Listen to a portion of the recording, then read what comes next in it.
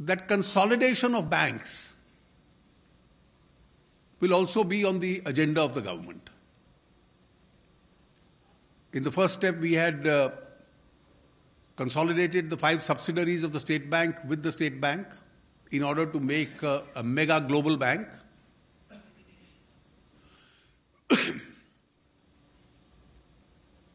the LIC has been, uh, for several years, uh, been very keen to have a bank of its own because most of its competitors have banks or are bank promoted insurance companies, and there is synergy between the two businesses.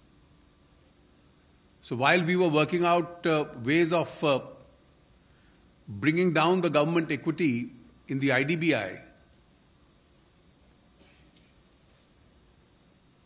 the LIC considered it appropriate to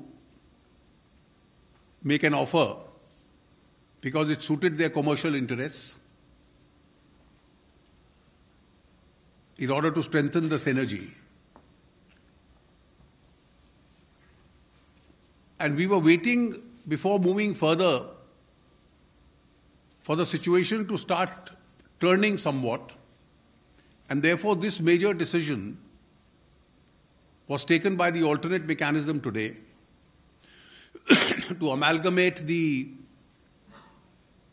Bank of Baroda, Dena Bank, and Vijaya Bank. While making this suggestion, we have borne in mind that we don't want uh, a merger of what are relatively weak banks.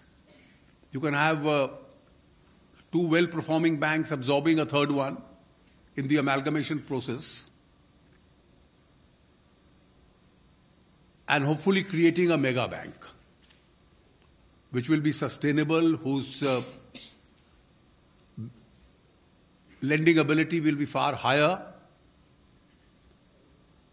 Nobody should have a worry because uh, this amalgamated entity will increase the banking operations.